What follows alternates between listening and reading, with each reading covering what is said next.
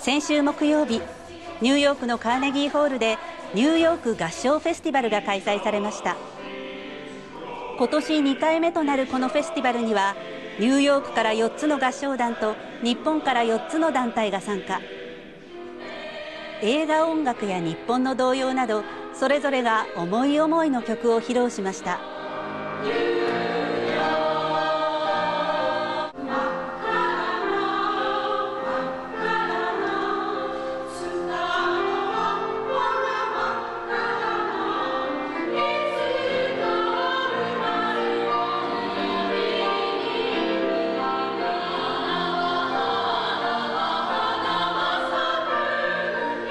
無料で開催されたこのフェスティバルの目的は東日本大震災の復興支援。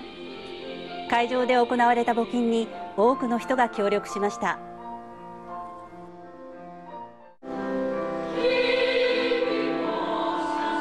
日本から参加したアンサンブルローゼは被災地である北茨城を拠点にする混声合唱団です。被災地の私たちが直接って元気を発信しようということで出場を決めましたパワーの発信の源の詩のような感じがしてますのでそこから発信できたらそれでその元気を私たちも持って帰ってそれをまた地元であの披露できたらなと思ってます。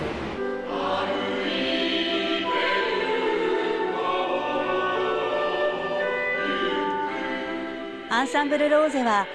復興への思いから作られたあの日から明日へなど全4曲を力強く歌いました。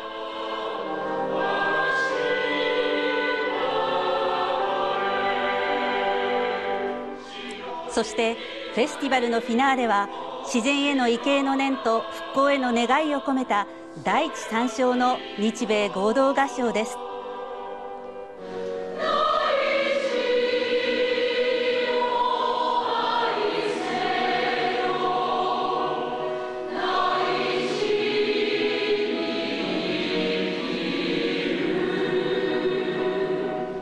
いや素晴らしかったですね